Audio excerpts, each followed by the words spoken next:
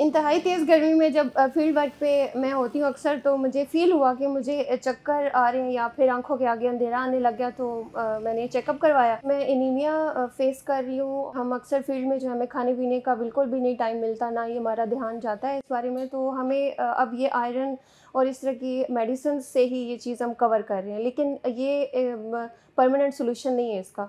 Ladies survival guide what should I do anaemia has less connections with heat. But what would uh, anemia heat do to anemia is it will make her even feel much much more tired. Uh, apart from taking her iron supplements and everything, she can start taking, taking something that is very very simple and it's available in the local uh, communities. Uh, all these seasonal vegetables. She can start taking um, uh, drumstick leaves, make a decoction out of it and take it. She can just add some um, dates into the water drink it throughout the day. Being a traffic constable, she'll be wearing uh, heavy clothes and everything. All she has to do is cover herself and try to be in shade